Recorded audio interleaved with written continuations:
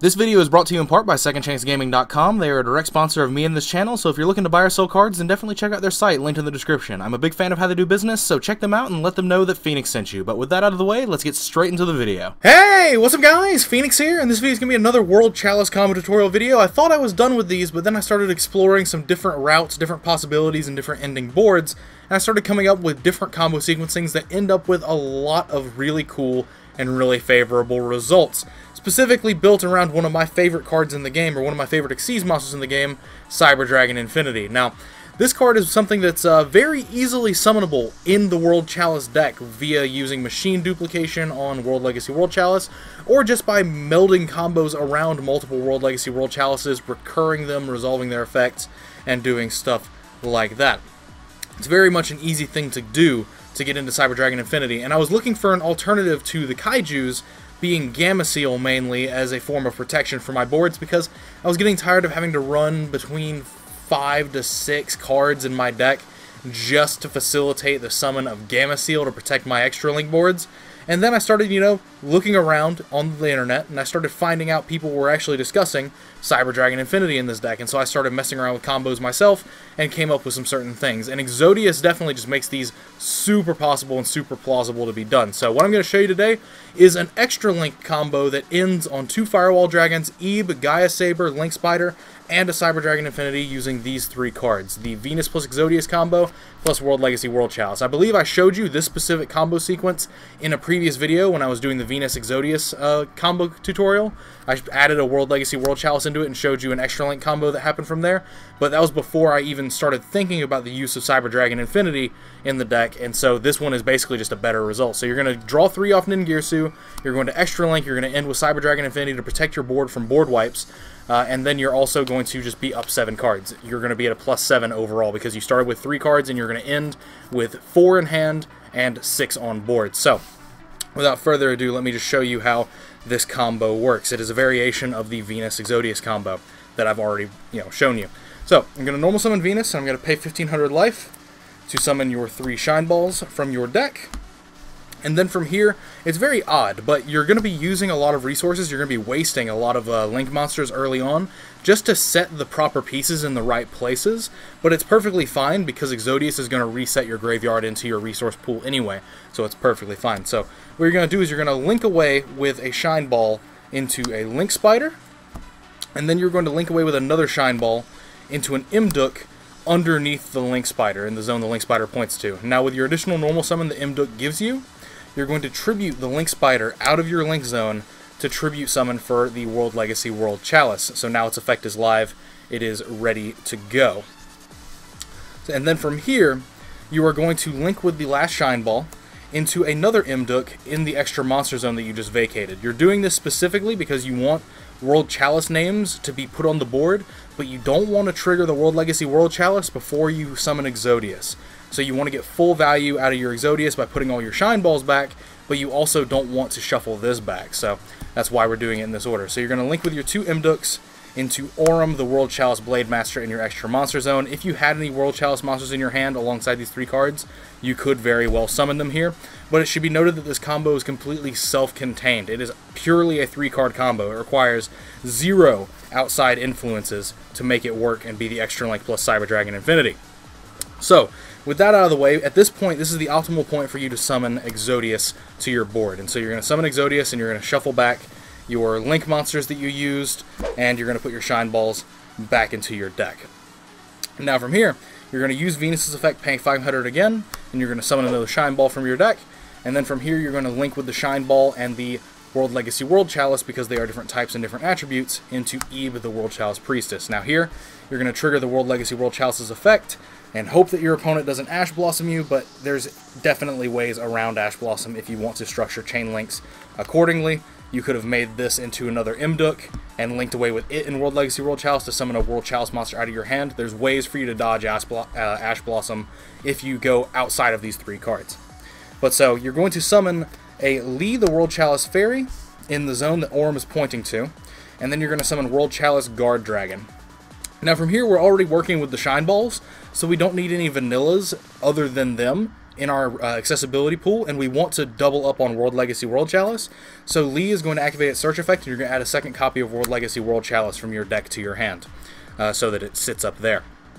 Now from here, what you're going to do is you're going to link away with your World Chalice Guard Dragon and your Exodius. The Exodius gets banished, and you are going to link into Proxy Dragon. Now from here, you're going to use Venus's effect again to special another Shine Ball out of your deck, and then you're going to link away with this Shine Ball into one of the Imduks that you put back off of the uh, Exodius returning. So then from here, you're going to link the Imduk and the Proxy Dragon into your Ningirsu, and again, there's ways to prevent, there's a way already established to prevent you from getting Ash Blossomed if you think your opponent could have it. Uh, there's a few different, like, differing, uh, differing ways that you could establish this field. Uh, but even as it stands, you have a World Chalice in hand, and you could go Imduk to special summon it. But it's not really optimal for you to do it here, so we're gonna like wait for this specific combo sequence. But if you're if you're you know fearing an Ash Blossom, you can definitely do some things. Um, but if you were going to be playing around Ash Blossom purely, uh, you would want your Venus to be in this zone. So, like, if you're if you're trying to make plays with uh, playing around Ash Blossom, you want Venus to be under your left monster zone because you always want to be summoning this over here. So that's that's something to keep in mind. If you always want to play around Ash Blossom in your combo sequences, summon Venus in your uh, in your zone underneath the other extra monster zone and leave the left hand zone open because that's just going to be what's most beneficial to you in the longest term. But so, from here, your Ningirsu effect is going to activate, and you are going to draw your three cards. So you've already, you know, gotten a good amount of value out of this combo sequence. And then you're going to activate Venus's effect yet again, getting the third ball out of your deck. Or if you drew it, because it was still in your deck, you just summoned it out of your hand. It's not that big of an issue. And then from here, you just link away with your Ningirsu and your Venus to start making your Firewall Dragons. So from here, linking with Ningirsu and Venus into the first Firewall Dragon, then you are going to use Aurum's effect to tribute the the uh, the Lee that is in the zone that you summoned there, and you are going to bring back the Ningirsu, the Ningirsu pointing at the Firewall Dragon. So, what you're going to be doing off of this is uh, some very specific actions, some very specific card actions. You are going to then link with the Mystical Shine Ball and the Aurum that is above the Firewall Dragon, and you are going to link into Gaia Saber, the Lightning Shadow, pointing down at Firewall Dragon, and then from here your Aurum is going to trigger to let you summon a card out of your hand. So you're going to summon the World Legacy World Chalice out of your hand in the furthest left zone now that Venus isn't there. Right? And this is going to be the zone that we're going to be trying to summon the Cyber Dragon Infinity into, either this zone or this zone. They will both be vacant by the time the combo is over when we've made the extra link. You just need to keep one of them open until the very last step, and the last step is summoning Cyber Dragon Infinity. So, from here, at this point, what we have access to is we have access to this Firewall Dragon that is co-linked with three different cards. And so normally I would tell you some spiel about how if you have another monster in your hand, then you can trigger Firewall and do some crazy like chain link nonsense, which is definitely the case. If you have another monster in your hand at this point, um, when you're summoning this card, your Firewall Dragon also has the ability to trigger to summon a monster out of your hand because the Aurum left the zone that Firewall was pointing to. So you could trigger its effect as Chainlink 1 and then Chainlink 2 trigger its effect to bounce three cards from your graveyard to your hand and then summon one of those cards. But that hypothetical aside, you can still completely do this combo self-contained, even if the cards in your hand weren't monsters that you wanted to summon or deal with, uh, potentially getting rid of in that essence. Uh, the only difference is that if you do get to use Firewall Dragon's effect to special summon in that way, you just don't use the Guard Dragon that's in your graveyard. But even if you, even if you're forced into one of these situations where you want to keep things self-contained, you can banish the Guard Dragon to bring back one of your vanillas, and it comes back right over here. So it'll come back in the zone that the Ib is pointed to, and then from here we're going to still be able to continue our combo unimpeded. So, back to Firewall Dragon. Firewall Dragon is co-linked with three different monsters.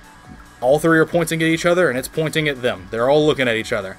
So what you're going to do is you're going to use Firewall Dragon's effect to return three cards to your hand. So you're going to return, one, the World Legacy World Chalice, because that's important for being able to summon our Cyber Dragon Infinity. Two, you're going to return any vanilla monster that is in your graveyard to your hand. You need one vanilla monster to make this work because that is going to be what makes your Link Spider.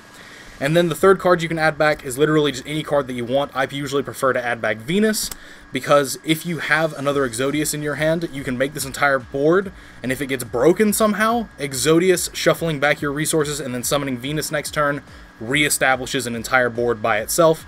So having Venus back in hand is usually worthwhile because I'm playing multiple Exodiuses in my list, and it's a great way for uh, recycling resources. So, carrying on. What we have now is we have this situation where we have all these monsters on the board. What are we going to do with them to make them into an extra link and drop Cyber Dragon Infinity? Well, we're going to link with the Ningirsu as a link 3, and the Mystical Shine Ball as one material into our second Firewall Dragon that is over in this zone. This Firewall Dragon that is used, I'll put a die on it to signify it's been used, um, this effect will special summon a monster out of your hand. So that's why you added back the vanilla. Now it should be noted if you had a vanilla in your hand, you don't have to add back the vanilla. You can easily work out of that as a resource. You can add back any other monster that you want from your grave. If you had like Foolish for a hand trap or something, you could do that.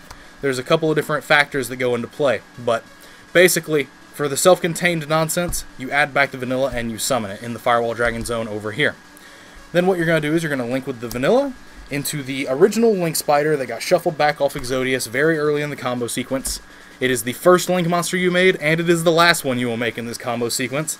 And so then the Firewall Dragon's effect will trigger again because the Shine Ball went from the zone it was pointing to to grave, and you will special summon that second World Legacy World Chalice that you searched, um, and then added back to your hand and all that. Back, to, uh, you'll summon it back to the field. And now from here, you will just overlay them into your Cyber Dragon Nova, because it's just all it requires is two level 5 machines, and World Legacy World Chalice fulfills that. And then you will overlay into the Cyber Dragon Infinity on top of it, giving you a free negation, a free suck up, whatever you want to go into your play structuring and play sequencing, and that is the entirety of the combo sequence. It's an extra link with three cards that also yields you a negation that does not rely on drawing into kaiju cards, which was something that I was having a lot of trouble with in my deck testing. I like I said, I was really annoyed at the fact that I had to put like the entire security of my board on the fact that I just need to draw these like um, these uh, these non-searchable kaiju cards in the form of the field spell. Um, like the field spell, like you have between three to five of it in your deck, and like you have to draw it off the Ningirsu play, or else you can't ever again. Um, it was something that was a lot easier to work with when we had Emerald because you could like draw once with Emerald before you made Ningirsu. You could make Ningirsu draw three, so you drew four cards, and then if you still didn't have it, you could push out a fifth draw off of a second Emerald that you recycled with Firewall Dragon plays and stuff, and you could get to it that way. But, so what I wanted was I wanted something that was self-contained and didn't have to rely on a specific draw to happen for you to end up being able to make a protection for your board which Cyber Dragon Infinity is. Like, the entire reason for Cyber Dragon Infinity to exist on this field is to protect this extra link, because when the extra link is on the field, your opponent is essentially not going to be playing modern Yu-Gi-Oh! So Cyber Dragon Infinity protects that from anything that would disrupt it, like a board wipe or something like Mirror Force or Torrential or whatever. Whatever your opponent is trying to throw at you to specifically break your extra link, you can get rid of with Cyber Dragon Infinity. And then you still have a Firewall Dragon that is loaded with two bounces on it as well. This Firewall Dragon has been used, but this Firewall Dragon can very easily bounce cards to again protect the extra link because Link Spider is kind of small in terms of how he uh, functions on the board because he's very easily run overable by normal summons. But so Firewall Dragon can protect him from that as well as adding other combo pieces from your grave to your hand um, in the process just to get value. There's a bunch of different cool things that I like about this combo sequence. I really like Cyber Dragon Infinity being in the extra deck. Uh, it definitely causes you to make some cuts in some certain areas, like the second Aurum, second Link Spider, or whatever. Uh, but you can definitely fit it in if you are looking at the space in a proper manner, and if you are looking at the way that you're structuring your plays in a proper manner. Even without machine duplication in your deck, you can very easily put Cyber Dragon Infinity on the field, but you can also just easily do it much easier than this if you do have access to a card like Machine Duplication to allow you to just go even further very quickly, very easily to get the other World Legacy World Chalices out of your deck. It's a combo card and a way into Cyber Dragon Infinity. So there's a lot of cool theory that I'm doing with the World Chalice deck that I'm really looking into online as well as trying to generate myself. So if you're interested in any of that, then definitely let me know in the comments down below if you want to see more weird and wild World Chalice theory. I really like this. I can't express this enough. I really like how much this combo specifically, extra links, but then also generates protection from board wipes and things like that with its own cards. Not having to draw into the Kaiju field spell is a huge feeling. I was looking around for so many like rank 4s or rank 3s that I could use that would make it easier for me to protect my board against board wipes if I didn't draw Kaijus, and then I remembered that this card existed, and that these are level 5 machines, and it's like, oh baby, this, this is something that can actually work. And so then I started researching it more, and other people had sort of the same ideas, but didn't really know how to implement it properly, and it just all started snowballing from there. So, like I said, Thanks for watching, and let me know what your thoughts are in the comments down below as always, guys. Drop a like if you want to see more World Chalice combinatorial videos or more World Chalice videos in general. Subscribe if you're new here and want to see more awesome Yu-Gi-Oh! content, and links as always are in the description to my Facebook fan page as well as my personal Patreon page. If you like the videos I've been doing and want to help support my ability to continue creating videos, then Patreon is the best way to do so, as well as it gets you access into monthly giveaways of significant amounts of Yu-Gi-Oh! product, usually around the size of a box in terms of value, and also possible access into my private Discord server depending on which reward tier you choose, where me and other people are talking on daily basis about other fandoms as well as Yu-Gi-Oh! So if you're interested in any of that, then definitely go check out the reward tiers over on Patreon, and you'd have my eternal gratitude for any support you wanted to give. But special thanks as always to Travis Miller, Iradium, Jay Garcia, Yuki Phoenix, and Troy Perkins, as well as everybody else that is currently supporting me on Patreon this month. You help out a lot more than you may know or understand, and as I've already said, you have my eternal gratitude for being someone that supports the channel as much as you guys do. You're the greatest. But other than that, as I've already said, thanks for watching. Thanks for your time, and as usual, guys, take care. I'll see you in the next video.